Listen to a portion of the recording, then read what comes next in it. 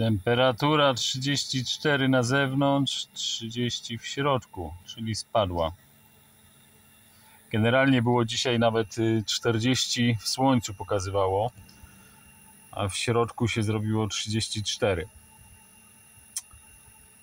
Y, Trochę się bałem tych temperatur, myślałem, że są nie do wytrzymania, ale powiedzmy szczerze, że tak jak teraz jest 34, tu 30, daje radę się wytrzymać. Oczywiście wszystkie okna są otwarte.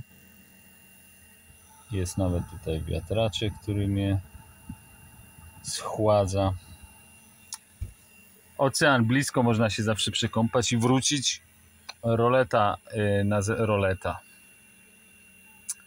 Daszek jest wysunięty na zewnątrz, yy, także stwarza cień, można siedzieć na dworzu swobodnie.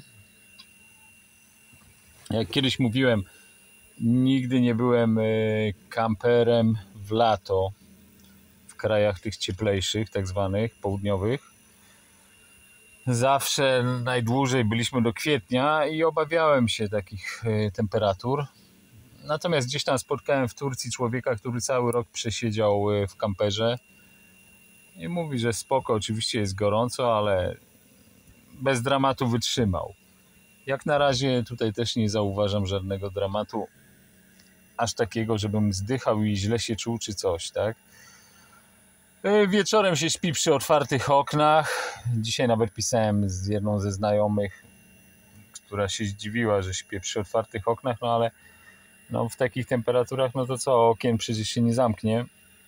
Ona akurat mi mówiła, że ma jakieś problemy tego typu, że boi się, że jej dziecko ktoś by mógł ukraść i tak dalej, no jakieś tego typu schizy. Ja takich schiz nie mam, poza tym mam alarm w postaci psa.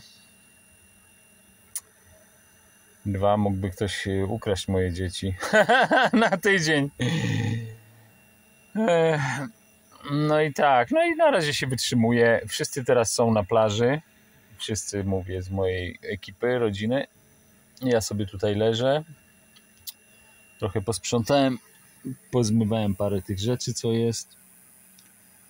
E, No i co? I potem wymiennie jakoś pójdziemy na plażę. Nie chce mi się zamykać tego auta.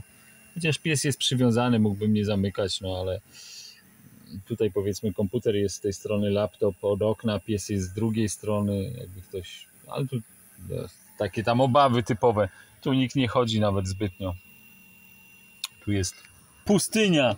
W sensie takim, że są, proszę, jakieś tam nieużytki dookoła. Nawet nikogo nie ma.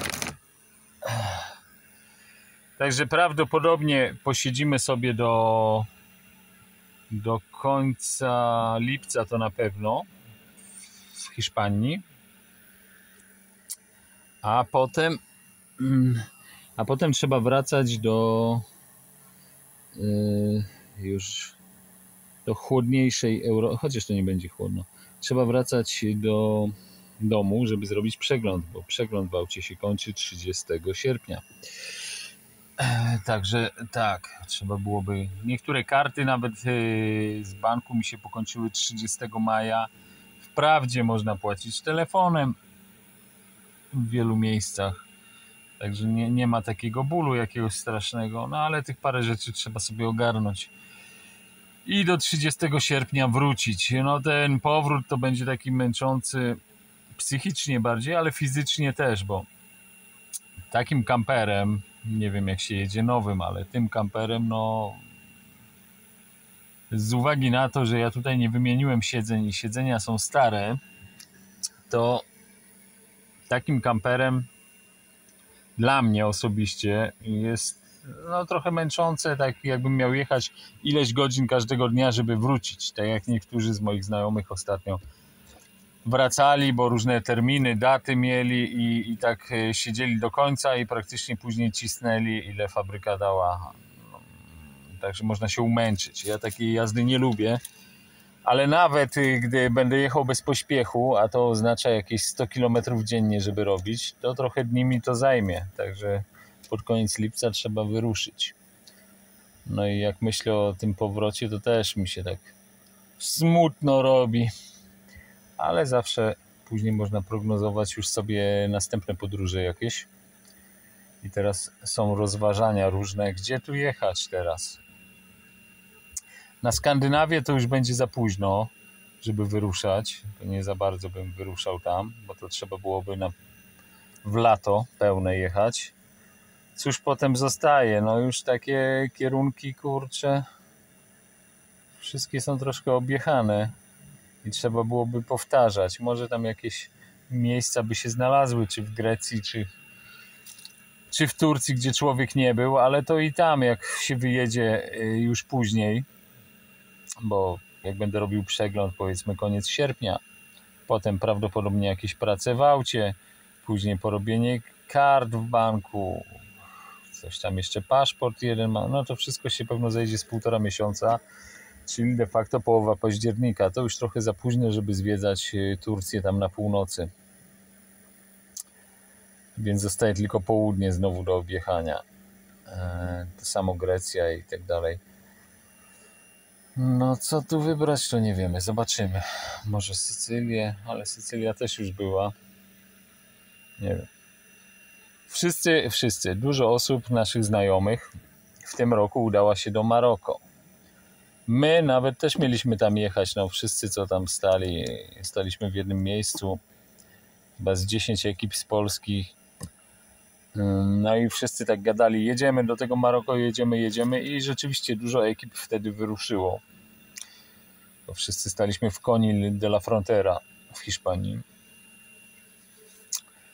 No i bardzo, bardzo żałowałem, że nie pojechałem z nimi, ale mnie akurat powstrzymało to, że nie miałem badań. Nie miałem badań na psa. Są takie tam badania poza Unią Europejską, które by trzeba było czekać ze 20 parę dni z tego co słyszałem na rezultaty tych badań. A kolejna rzecz jest no, ta gorsza z tym paszportem, też nie miałem. No, tak jak Jeden paszport mi się kończył już w zasadzie, tak jak mówiłem, skończył mi się 17 kwietnia jednego z dzieci. Także słabo z tym było troszeczkę. No ale co, ale za to ruszyliśmy do Portugalii. Nie bałagan taki, ale to przy pięciu osobach to jest rzecz naturalna. Tutaj zawsze podziwiałem te wszystkie instagramowe przygotowane wany wszystko zrobione na biało, drewienko też takie, ten, i pary tam siedziały i wszystko pięknie zawsze wyglądało. Natomiast jak starałem się robić kampera i tam też malować, coś tam naprawiać, mój kuzyn, który też ma trójkę dzieci, powiedział: Dobra, dobra, ja chcę cię zobaczyć, który sam podróżuje też.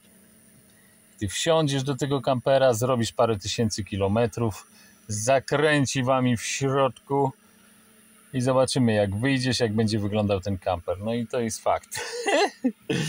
Także te takie kampery, to już ja widziałem właśnie jak są robione zdjęcia lub filmy, jakie przygotowania są właśnie, czyszczenie, sprzątanie, wszystko ustawianie ładnie pod, pod zdjęcia, ale to z rzeczywistością nie ma nic wspólnego, a w szczególności tą rzeczywistością, e, jeśli się ma dzieciaki. A jak wiemy, dzieciaki są żywe jak srebro. Tak czy inaczej, zgubiłem wątek, o czym to mówiłem. Jakąś podróż się wymyśli. E, a, mówiłem o tym, że żałowałem, że do tego Maroka nie pojechaliśmy. No ale zwiedziliśmy za to zwiedziliśmy za to Portugalię. E, właśnie, bo tam był taki moment, że wszyscy już ruszali, a ja mówię, kurde, ja bym pojechał z nimi, już nawet mi się do tej Portugalii nie chciało. Gdzie w ogóle jej nie widziałem, a byłem już zniechęcony do niej. Natomiast stwierdzam, że Portugalia to jest znakomity kierunek, bardzo piękne krajobrazy, kraj bardzo zróżnicowany właśnie pod względem krajobrazów. Można co kilkadziesiąt kilometrów zobaczyć inne krajobrazy, naprawdę coś fantastycznego i być może nieraz jeszcze tu wrócę i nie dziwię się tym, którzy tu przyjeżdżają w te kierunki typu Portugalia, Hiszpania. Aktualnie jeszcze jesteśmy w Hiszpanii, bardzo blisko granicy portugalskiej i też się zastanawiam, czy by nie podskoczyć tam parę rzeczy e, i sobie ich nie kupić, których zapomniałem kupić, jak na przykład kawa portugalska, fantastyczna jest. Ja piję mm, przeważnie tam lawatce, tą złotą, ale przekonałem się bardzo do, do kaw portugalskich. Także tak, yy, upał jest, jeść się nie chce, pije się gazpacho zimne albo zimne piwo. No i takie to leniwe dni, gorące dni. Prawdziwe wakacje, no. Zresztą wakacje już się zaczynają przyszłym tygodniu i ciekaw jestem, czy nastąpi taka, taki zmasowany atak yy, no, wszelkiej maści turystów. Ludzi się nagle pojawi. Kurczę, podejrzewam, że tak może być. Zobaczymy, co wtedy. Czy takie miejsca dla kamperów będą takie jak tu teraz, czy nawet takie, takie miejsca zaginą yy, w tłumie. No, wiadomo też, że tubylcy nie za bardzo lubią, jak widzą te kampery, które stoją i stoją w pierwszej linii, powiedzmy, brzegowej, albo zajmują tak zwane lepsze miejsca na parkingu. Często widziałem, że się wściekają na tego typu sytuacje. Ja staram się nie zajmować tych miejsc takich y, najlepszych strategicznie, bo wiem, że oni przyjeżdżają później i się wkurzają. No są jakby u siebie i nagle widzą masę jakichś kamperów i nie mogą sami się dostać do, do swoich miejsc, tak? No to rodzi jakąś fru frustrację. To tak jakby u nas, kurde, w Polsce stało nagle, nie wiem, kilkadziesiąt y, hiszpańskich kamperów i blokowało jakieś dojście, czy dobry parking, powiedzmy, człowiek przyjeżdża, a nie ma gdzie zaparkować. No, to są różnego typu sytuacje i je rozumiem. Ale zobaczymy, czy tak się stanie. Na razie, jak mówiłem i pokazałem, stoimy w nicości, no, także tak na dziko można powiedzieć, i nic takiego nam nie grozi. Także yy, oby tak było dalej. na razie.